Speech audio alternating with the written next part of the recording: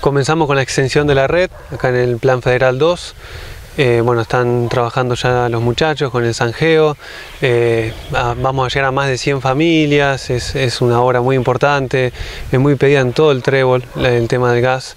Eh, en la zona, más, que nada en la periferia todavía falta llegar y se está trabajando con varios frentes. Tenemos otro frente de trabajo en la zona sur de la localidad. bueno, es importante, es importante cómo mejora la calidad de vida con esta obra. Fran, también otro de los temas tiene que ver con la iluminación. El programa El Trébol se ilumina. Ya se había completado lo que es el acceso Seguí, luego se completó el tramo de calle San Lorenzo y ahora se avanza en Juan 23. Sí, claro, siguiendo con el mejoramiento de la calidad de vida, eh, la iluminación es importantísimo, cambia muchísimo.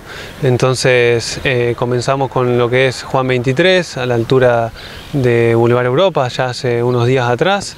Eh, después tuvimos un freno por la retención, digamos, es un freno económico que las empresas por ahí no, no, estaban dando precios, después con mucha incertidumbre, pero ya se volvió a la normalidad y estamos continuando con la tercera cuadra y eh, para antes de finalizar la semana terminar la cuarta cuadra de lo que es el proyecto por Juan 23. También se trabaja en lo que es eh, estabilizado de calle, Francisco, colocación de, de, ripios, se inició en calle Sarmiento, continuó aquí muy cerquita en, calle de Orrego y hay trabajos programados para los próximos días. Sí, hay, había un proyecto para eh, dar accesibilidad y mejorado en más de, más de 40 cuadras. esta semana estamos comenzando ya con el, tercer sector, nos vamos a desplazar a, Juan 23 en la zona sur de la localidad, eh, entre calle Corrientes, Mendoza, Mendoza, bueno, en ese sector vamos a estar trabajando y luego eh, nos vamos a desplazar a calle Leiva para también seguir con la accesibilidad y, mejorar la calidad de vida de los vecinos, que es lo, más importante. En calle Juan de Garay de zona sur. Juan de Garay de zona sur y Manuel Leiva en zona suroeste.